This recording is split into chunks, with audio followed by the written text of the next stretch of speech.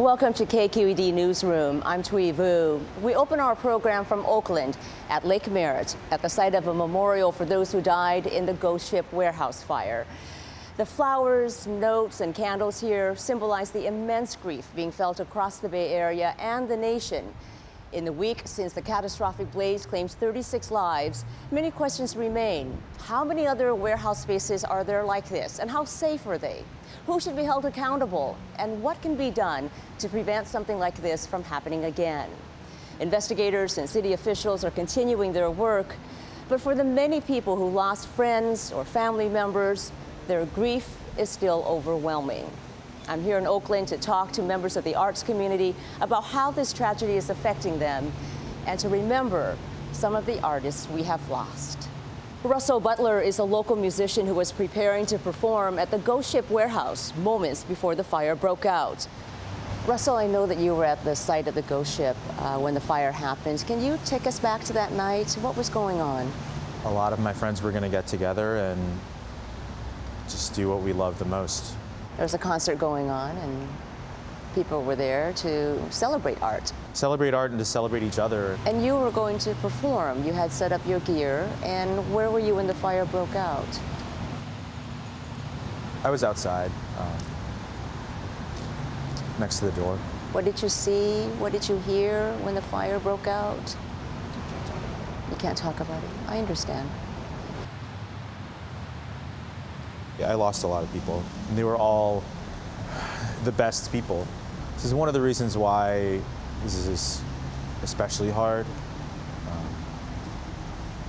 it's not just the building or the loss of life in general. Or these people were pillars. Like these people really held a lot of people up. Um, I was. I, I feel very blessed to have been able to call them friends. Can you tell us about one or two of them and what are your fondest memories of them, what they were like? I think of think of someone like Johnny, Johnny Igaz. Whenever you saw him, he'd always be smiling and think about Cash a lot. I was really just stunned by her. She was someone who was so young but already clearly knew who they were. This has been such a difficult week for so many people. Um, and as you reflect and look forward, um, what are you hoping will come out of all this? I really hope this brings communities together to advocate for those of us in the arts communities and those of us who are people of color and queer and trans and the most marginalized and the most vulnerable. After talking with Russell Butler, I headed to the Vintage Synthesizer Museum in Oakland to meet with three others who lost friends in the fire. Jon Lady is a musician, Jonah Strauss is a musician and a sound engineer, Brendan Dreaper is a sound engineer and manages local bands. Thank you all for being with us. Um, I know it's been a really tough week. Could each of you tell us uh, about someone that you lost in the fire and you would like to share a memory of? Two people I lost were uh, Ben Runnels and Denalda. They were in a band called Intro Flirt, who I worked with for the last two years about. I'm just gonna miss their complete honesty about, you know, every situation we were in, whether it was good or bad. Both of them had like a personal philosophy to kind of like experience whatever feeling you're feeling in the moment, you know, whether that be like sadness, happiness, social anxiety, you know, all that, every, the whole range. I lost Kiyomi Tanouye. She was a tireless facilitator of the arts, selflessly putting herself out there to make everyone feel like they had a place and a space and a community to, to do whatever they wanted. And she was incredibly infectious to be around. And Ara Jo was everyone was close with her. Everyone knew what she was doing for the community. Everyone knew that she was so capable of working with everyone constantly. She would be cutting someone's hair, giving someone like um, a tattoo, making an a illustration, and all the while running door at a show, making people um, dinner literally simultaneously all this stuff would happen, and no one knew how she did it. I think everybody should know about Billy Dixon because that was one undercover dude. In addition to being a, a brilliant DJ and beatboxer with an encyclopedic knowledge of hip hop, um, Billy had a, an electronic production technique that was unparalleled and utterly unique. Um, he, he would use antiquated technology in ways that that technology was never used in the first place. And I was wildly impressed with his production skills. I own a tape machine that he sold me, and I'm going to love it and cherish it forever. I wish he was still around. So, what's the effect of this loss on the art scene in Oakland, would you say? I mean, I think the effect it's wasn't just one or two people. Um, they were all sort of like an artery that's been like ruptured that is just kind of bleeding out right now, and people are inspired in ways that they've never been inspired before to um, build upon that morning and like just own it and redirect it into so much more mm-hmm. um, work with each other than I think we've ever seen. The ghost ship was a warehouse, was not intended to be a residence. A number of people eventually did live there. Was the ghost ship an outlier, or is it indicative of a lot of unsafe places like that? Well, thanks for using the word outlier because that's the, you, you, really hit the nail on the head. Um, the ghost ship was by far the most unsafe space I've ever heard of or seen that was DIY built in Oakland. I've been in countless where I literally countless warehouse spaces and I've never seen anything like that. I saw pictures from before the fire. I've spoken with many friends who have been in there and um, it, it's not just the media reports. It was totally an unsafe space. I can't I can't support that kind of build out. Um, every build out that I've either uh, been a part of or been privy to in multiple cities. Um, has been built with much greater eye towards safety first and code second. Uh, the city of Oakland is under pressure from uh, uh, both local and, and national and international news media and a lot of NIMBY type folks to crack down on warehouses. And so what happens is uh, a space will get red tagged and then it gives the landlord uh, free reign to do whatever they want with the building. They can pay off their fines and they can uh, attempt to rehabilitate the building immediately or they can stall for three years until all of the, all of the tenants go away and relinquish their rights to return um, and then rebuild it as condos. This is a housing crisis. Uh, we are fighting a battle and we want to not lose the war. Everybody knows that our rents in Oakland are second to San Francisco, which is second to Manhattan. A lot of people are already fighting to keep their spaces that are exponentially safer. We're put in a position to where sometimes we have to just perform and facilitate each other's art in our in our own home. It's been going on for so long that this is this is our livelihood. This is where we gather. This is where we support each other. And if we don't have that, then we have next to nothing. Meanwhile, a lot of attention is still focused on the ghost ship. Um, and there are questions now about who should be held accountable. Who do you think should be held responsible for what happened there?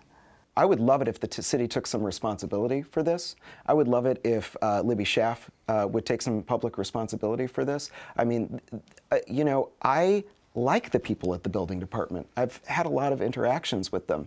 Um, I think that they're not given the resources to do what they have to do in the way that they should really be doing it, if that makes sense. It's not give them more money and power to shut spaces down. It's give the city the resources, and that includes social workers working within the embedded within the building department uh, to reach out to uh, spaces and talk about what people's actual needs are on, on the ground. If the city actually cares about its residents, it will, uh, it will perform a complete overhaul of the way that the building department functions, uh, and uh, that's going to have to come from Mayor Schaaf herself, not a $1.7 million arts grant to fund exclusively established nonprofits who have nice spaces downtown.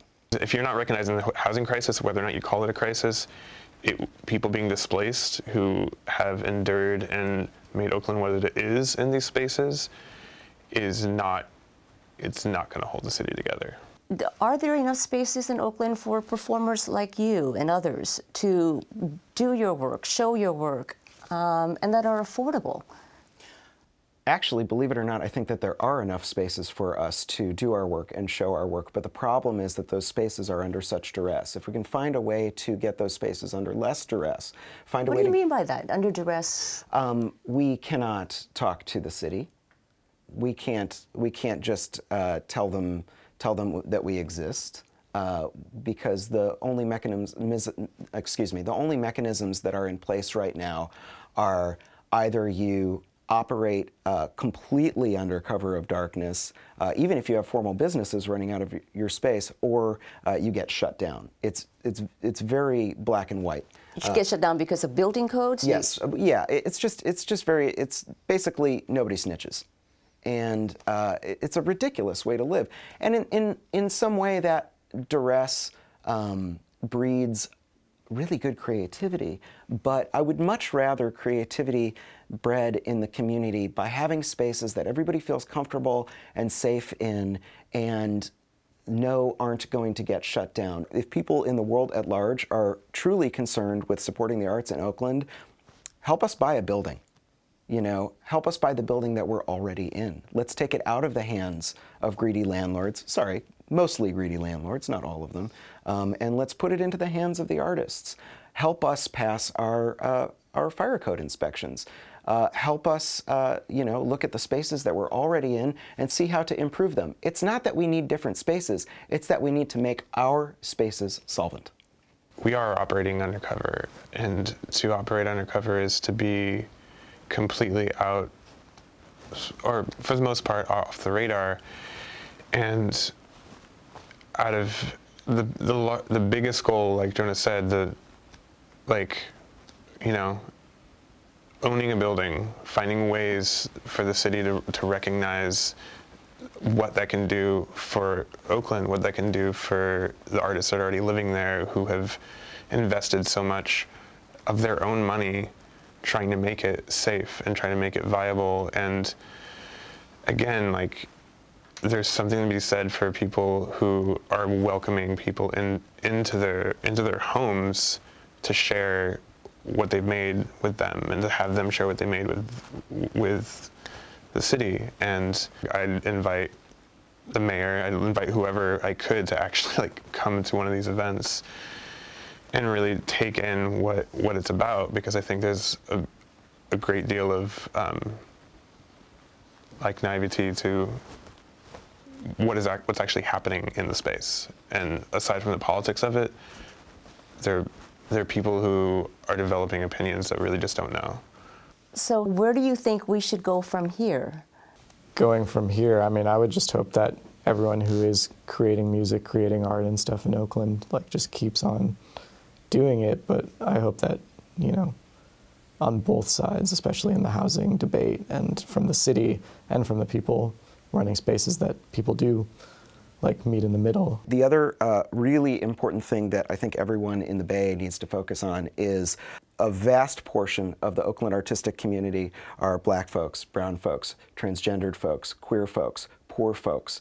Um, all of these uh, people uh, who rank less high on the privilege scale, who um, are even at even greater risk than people who look like we do um, at uh, losing their homes, losing their voices, losing their uh, places to express their art. And I think that moving forward, um, not only does the discussion need to focus on how uh, to keep Oakland artists in Oakland and off the streets, um, but specifically how to make sure uh, that the transgendered and uh, folks of color, uh, people in our community, are supported appropriately. Do you feel pessimistic or do you feel hopeful that something positive might come out of this? I feel 110% optimistic. We knew that there was going to be an outpouring of support from each other, but we weren't expecting everyone to be as invigorated as it's it's there's no words for what's being what's happening right now and how confident people are moving forward that they want to really honor their friends' memories and the only way like we all know that the only way to do that is to make it okay for these for this community to continue doing what it's doing. We've gotten a lot stronger as a community. That's one thing that has really come out of this. It's, it's, we don't even say hello to each other anymore on the street. Everybody just embraces. You don't ask how you doing. I know how you're doing. You know how I'm doing. Terrible. But we're sticking together, and we're sticking together through every, uh, every means necessary. Well, on that note of unity and hope and coming together, we want to thank you for your time. I know it's been a really difficult week, and our condolences are with you in your loss. Jon, Brendan, and Jonah, thank you all. Thank you. Thank you. Thanks. That was Thuy Vu reporting in Oakland. The tragedy at the Ghost Ship warehouse highlighted some of the pressures that artists face in the Bay Area, including high housing prices. Of course, the housing crisis affects many others too, including college students. In fact, a new study from San Diego State University found that one third of all community college students are either homeless or living on the edge of being unable to afford housing. For a closer look, I'm joined now by KQED reporter Laura Klivans. She's been looking into problems faced by homeless college students. And UC Berkeley undergrad Taylor Lorraine Harvey. She started the Homeless Student Union at Cal. Welcome to both of you. Taylor, let me begin with you. Why did you feel a need to start the Homeless Student Union? I think that students identified a discrepancy between the resources for food insecurity and housing insecurity. A number of students that I was familiar with came into housing insecurity or homelessness and found that there were a number of faculty that didn't know how to approach them or deal with the situation, um, and that there was a lot of lack of support for those students. And so it was kind of in an effort to support ourselves and start to form solutions to help ourselves. So, would you say a lack of support from the administration, or just they didn't really know how to help? I think it was both. I think that um, a lot of faculty and administration and staff and professors didn't know how to talk to the students who were suffering from these conditions. I think that there were a lack of concrete resources for these students. I think there were a lack of solutions. Um, and I think that the students didn't really know what to do, and so we started this to help ourselves. And what's your situation with regard to housing? I've been homeless or housing insecure since I was about 13. Um, I suffered from homelessness during the last three years of high school, um, and I stayed with a kind family who agreed to take me in until I graduated or until I graduated high school and got into college. This is down in San Diego? Down in San Diego um, for my senior year and part of my junior year. Laura, you've been doing this reporting. Uh, tell me a little bit about what you set out to find and how difficult, what were some of the difficulties you encountered finding students so Yeah. willing to talk with you? Yeah, it was actually one of the hardest stories that we've had in finding subjects to talk to, um, which was surprising for all of us. I worked on this story with two other reporters. Um, and so what we ended up doing was we really blitzed all these college campuses trying to get folks to respond to us. Um, and I, you know, eventually found Taylor. Um, luckily, Taylor's in this situation where she's housed right now. And so, like what you told me when we were talking was that she feels okay talking, but so many of the other people do not because they are sleeping in places that are not allowed, like um, campus buildings, um, or they're just they have so much going on logistically in their lives. Is there an element also of just like, I don't, I don't want to put a word in their mouths, but sh- like shame? Uh, you know that they that they Mm-hmm. don't have housing. Taylor, Yeah, I think that there's a huge stigmatization around it. I think that their peers sort of don't understand it or don't think that it exists. I think that's really the hugest problem is that a lot of people on campus in the com- campus community don't really realize that this happens and so it's not really like talked about and so there's this kind of silence around the whole issue as well as like a sort of shame yeah people are worried Right. I think it's definitely a hidden issue. Um, and when we try to find people, I think part of not identifying as homeless, part of it's for preservation of your own pride.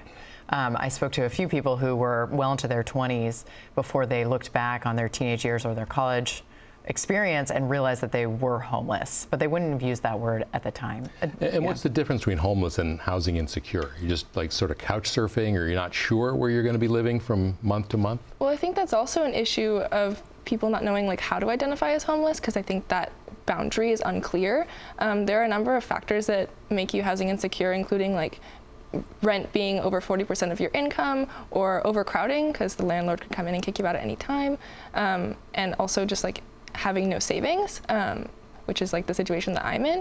Um, I'm like currently living somewhere that's really nice I'm able to afford rent. But if I like for some reason have an extra expense like my laptop gets stolen or something, I will not be able to afford rent the next month. And Laura, I know one of the students you met and profiled was Brittany Jones. Yeah. Uh, tell us a little bit about her and you know what her life was like as you spent time Yeah, with her. Sure, yeah. It was an amazing experience to meet her. Um, she, I feel like her life is all about logistics and details. Um, knowing when BART opens, knowing where you can charge your phone, knowing that you get food vouchers here or there, knowing that the showers at this one place are open at this time. What's the importance of knowing when BART opens? Oh, so so for her, she will go and rest on BART. Um, so often, if she doesn't have a place to stay overnight, she'll go to BART right as it opens up and basically sleep on BART until the rush hour crowd comes in. And she's a student at, is it Laney? She's a student at Laney College, which is a community college right by Lake Merritt.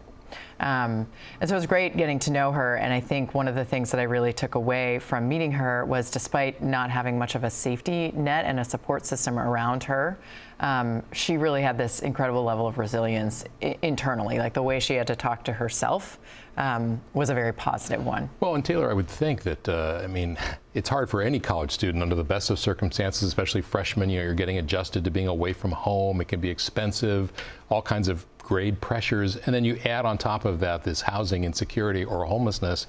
I mean, it takes a special kind of person to live through that and pursue a college education, doesn't it? Yeah, I think that I was privileged enough, I guess, somewhat to have been through this already before I came to college. And so I developed the tactical knowledge and I developed the skills and I developed the ability to stay resilient and to motivate myself. How did you develop that? Um, trial and error, I guess, um, through being tried and tried again. Um, a lot of work, a lot of exhaustion, um, a lot of like sleepless nights. Um, I would have to take the bus for like three and a half hours to get to school at some points, and I would just remember that like college was my only way out of this cycle. Um, and so that was my primary motivator. Um, and then I finally got to UC Berkeley, and I found that I still had to keep working and still had to keep fighting, and that was, I think, the hardest part. Laura, to what extent do we know sort of the demographics of who these students are, where they're from? I mean, it would be easy to stereotype, uh, but I imagine they come from all parts of the state and country, probably, and world for that matter. T- tell us what you know about that. Yeah, they do. I mean, when we have spoken with experts and we've reached out to these students that we ended up finding, people really came from different backgrounds. Um, all genders, all ethnicities, all races. Um, Is there a commonality? there are some commonalities. So, um, a lot of individuals who are former foster youth find themselves in this situation again. Um, LGBTQ youth um, who may have been rejected and no longer supported by their families of origin. And then um, among the homeless young population, unaccompanied minors actually are some that end up in shelters here in the United States. From like Central America and, and Mexico, south Yeah. of the border. Yeah. Right.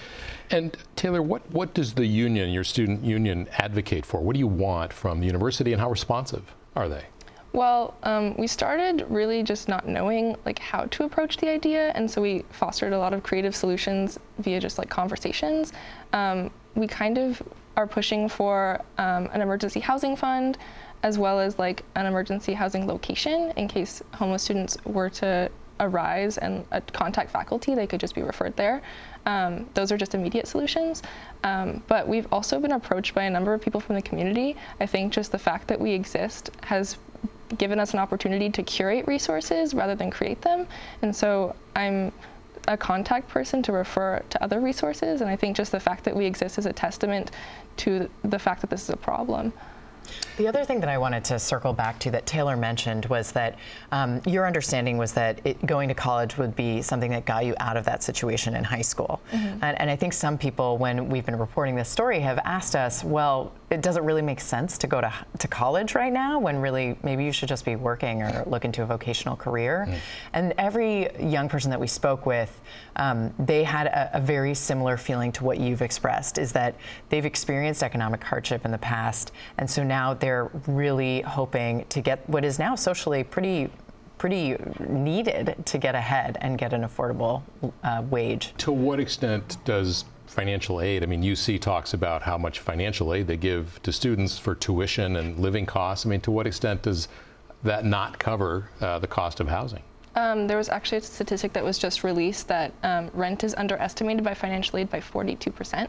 Um, and so I have just enough personally to pay for just rent. I have to pay for utilities and food on my own, which means I worked about 20 to, 20 to 40 hours a week a week to do that and also have a savings um, in case something were to happen. I need some kind of safety net, even though I don't really have one in general. Yeah. And Laura, what do, what do you hope people take away from the reporting that you and others at KQED are doing on this? Mm-hmm. I think just that this is an issue because I think the reason why a lot of campuses are not acting is because they're just seeing that it's a problem. We've just seen studies come out about the actual numbers and looking at the gaps or what exists presently, and it's very piecemeal, the approach.